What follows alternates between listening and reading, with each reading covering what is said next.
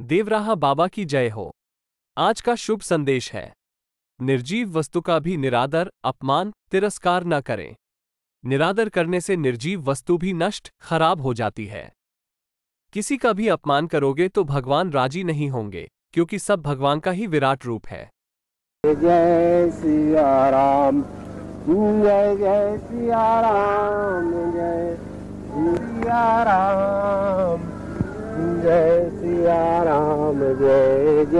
Jai Siya Ram Jai Jai Siya Ram Jai Siya Ram Jai Siya Ram Jai Jai Siya Ram Jai Jai Siya Ram Jai Siya Ram Jai Siya Ram Jai Jai Siya Ram Jai Jai Siya Ram Jai Siya Ram